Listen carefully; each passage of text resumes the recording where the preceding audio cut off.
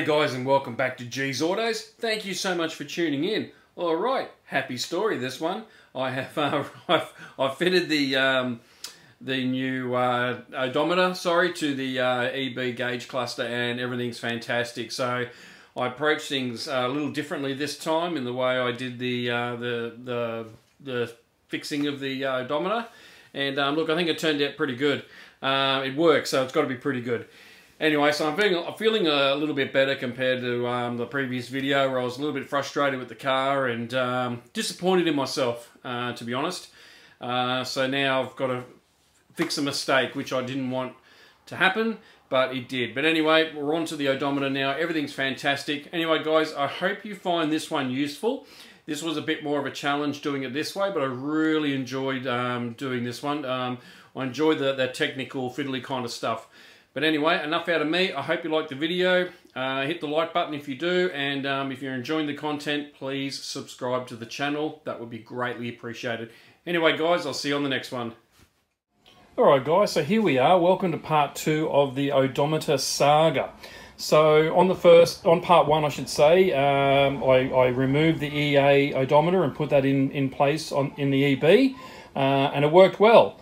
And then when I went to drive the car the next day, the odometer actually stopped working. So I stripped it down and these are the gears that were in the EA version. So they just basically disintegrated and um, were no good. So after seeing that, I went, right, okay, let's purchase some new gears. Uh, I did that, and that's these pieces over here. So they're the new ones. Now, before I wanted to put them in, I thought, okay, well, let's let's adjust the kilometers on the low mileage EA one.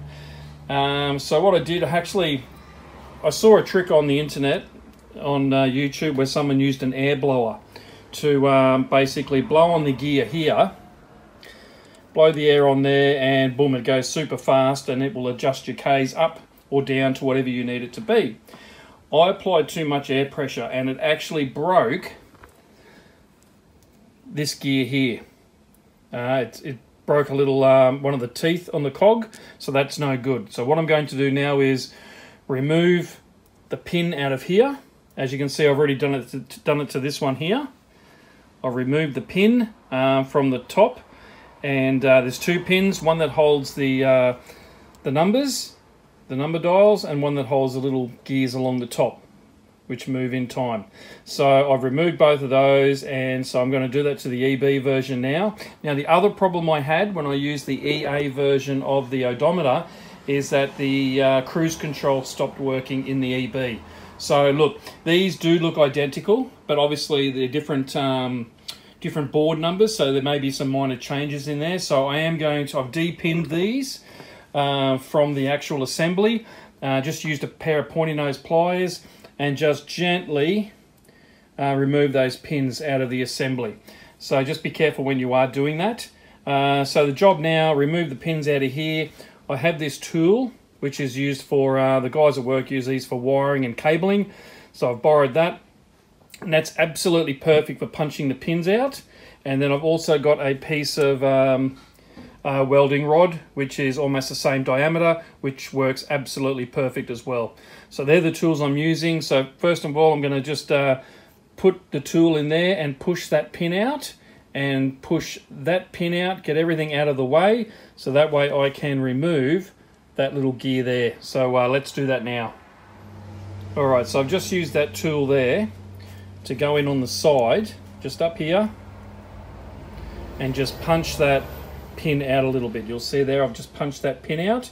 Now I'm going to use the rod here to push through and remove that pin completely out of the side and then I'll repeat the process for uh, that setup there.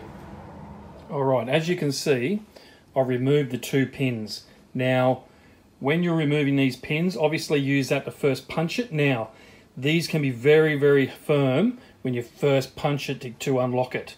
Now, when you, you might expose, say, three or four mil on one side, just use a uh, pair of pointy nose pliers just to gently pull that out. It might be a bit firm. Now, when doing this, be very, very careful. These plastics are old and they're brittle, so just take your time and be careful, be patient. All right, guys, it's a fair call to say that was fiddly. Uh, that's the first time I've ever done that, but now that I've worked through the process and understand it a lot better, um, I think I would do it a lot easier next time. Uh, so I'm very happy with the result. Now, basically, what you need to do is get these um, these rods. Excuse me for one second. These rods and get them through to about that distance there, so you can feed one. Um, one big cog, one little cog, big cog, little cog, and so on. Um, so that's what I found. So you start off with obviously that little cog there, then you do a little cog, then you do a big cog, a little cog, big cog, and then slowly work your way through. And then at the end, I was lucky enough to have a spare one of these, and I used that to put through the end there to line it up.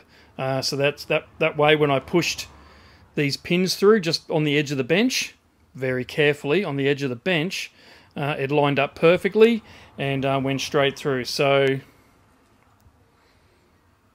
very happy with that. Now, I can't stress enough, just be so careful with this. Um, you've got that little needle there for the speedo and all the plastics. You've got your your your lugs there for putting in your, your screws for the PCB and so on. So just be so careful doing this. Take your time. And um, yeah, I'm very happy with the results. So I've set it up to roughly where the car should be. I've just set it at 510,000. Uh, what I'm going to do now is put these little these little gears in and um, I'll show you that one. We'll do that now. Okay, so it's time to put these little planetary gears in, I suppose you could call them. Um, so I'll put that little cog on the big cog. There's a little um, uh, locator for it. Now this is fallen over again. So stand that up and then just drop that in.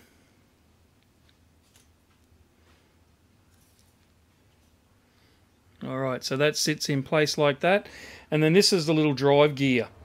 Um, that one there just sits in like so. And the housing... Whoop, the housing for the PCB goes straight over the top. And you've got your two little locators there for your Phillips heads. And um, yeah then I'll just uh, repin put these back in where they need to go. And uh, that one is good to go. Then I can chuck it in the car and uh, take it for a spin. And fingers crossed it is all good. Alright everything is done. So I've put the two pins back in. They went in nicely. And I've also put the reset button in for the um, trip meter and um, it's a lot firmer moves nice and smooth.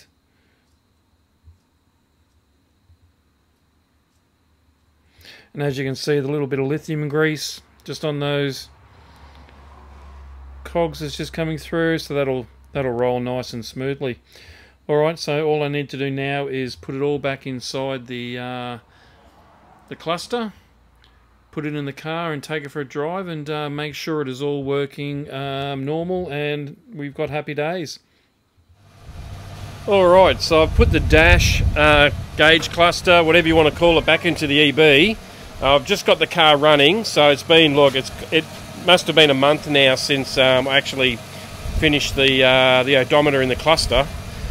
But um, when I started this up, after doing the front end, it developed a bit of a uh, an electrical issue. Um, so the battery wasn't quite charged, jump started it, that was fine. Then after about two or three minutes, the car would turn itself off. Not too sure why. Uh, put some fresh fuel in it, still did it. Uh, so what I, I disconnected the battery, checked the earth, all that was good, still played up a little bit. And then I put it in neutral, and I've left it in neutral, and it's been running fine, no dramas, hasn't turned itself off. I've switched it back to park and looks like it's continued to um, behave itself.